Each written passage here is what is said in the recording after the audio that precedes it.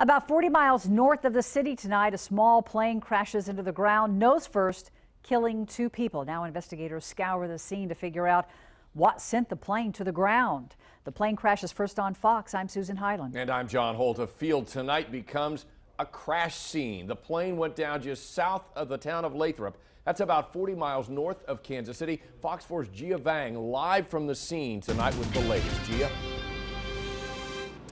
Well, John and Susan, some people are familiar with this place behind us. It's the Shatto Milk Company, but just take a look at the empty field just south of it. That is where the plane crash occurred. Authorities say a small plane crash happened around 420 this afternoon.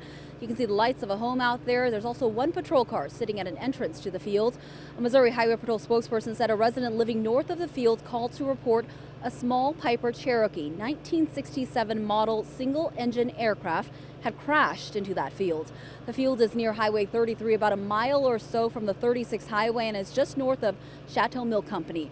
Now, we're told two adult men who were on board did die in the crash. Their identities have not yet been released.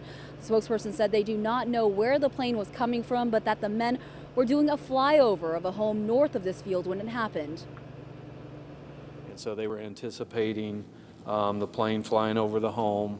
And, you know, like a lot a lot of times in the past, people on the ground wave, and you know the folks that are up in the plane, either the passenger or the pilot, are waving at the folks on the ground, and this just went horribly wrong for some.